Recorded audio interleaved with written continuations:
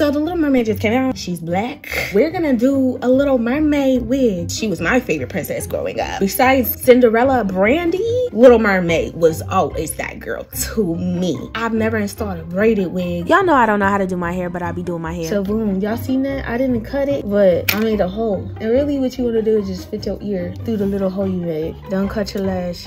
Ooh, That lip gloss don't play me. So first y'all know we always start with the bald cap method. Today is a clear struggle. I'm only using a wig cap because I ran out of stockings. Stockings would never fail me like this. ski mask. I lost my blow dryer, so I gotta let all this air dry. Make sure it's tacky first. That took forever to dry. Let's cut it off. Wig caps help with friction, so don't skip this part or you'll lose your edge. I was born without them, so chill. I look just like him, bald. I'm gonna dye these knots because they black, and then I'm gonna be right back. You actually supposed to start with this part. I almost didn't bleach my knots because it was 12 a.m. when I made this and I was sleepy. But these parts was looking too good, so I had to get rid of them black knots. Bleaching your knots could change the look of your whole wig, so don't skip this part.